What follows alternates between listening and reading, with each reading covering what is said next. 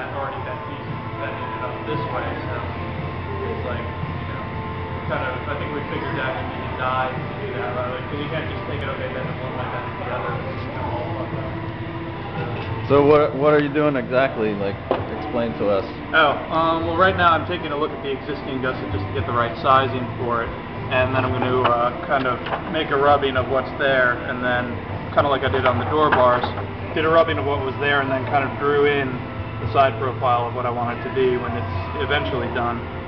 So Um, the idea is that what?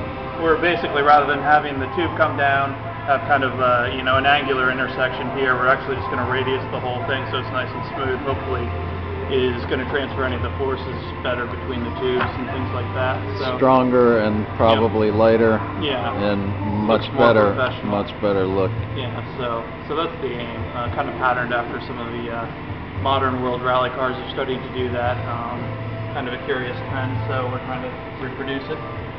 Thank you, Mr. Dino Crescenti. But anytime.